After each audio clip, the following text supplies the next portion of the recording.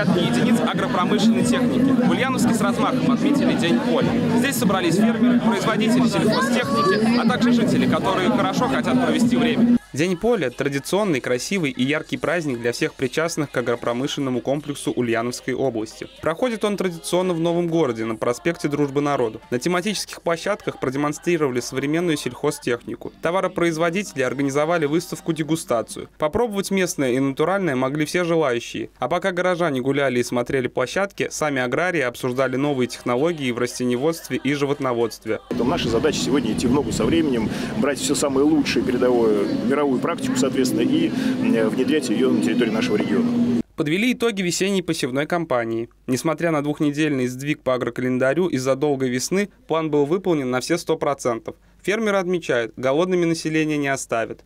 Окончание весенних работ – это очень важное событие.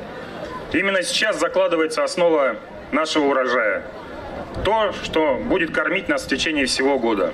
Яровой сев в этом году увеличен на 70 гектаров благодаря расширению посевных площадей. Увеличили посадку как зерновых и бобовых, так и масляничных культур. Например, посевы сои выросли в два раза, масляничный лен в пять раз. Высаживать агрокультуры и ухаживать за ними фермерам помогает надежная техника. За моей спиной вы видите трактор «Кировец», легендарные. Сегодня это единственные российские тракторы, которые не, не, за, не закончили производство, не остановились, а наоборот э, все больше и больше производят. На самом деле, благодаря этому мы будем с хлебом. Также на празднике от муниципальных образований были представлены экспозиции своих районов, посвященные наиболее ярким достижениям в сельском хозяйстве. Для самых маленьких гостей работала отдельная зона с катанием на лошадях и бесплатным батутом. Кирилл Савосин, Сергей Кудаков, УПравда ТВ.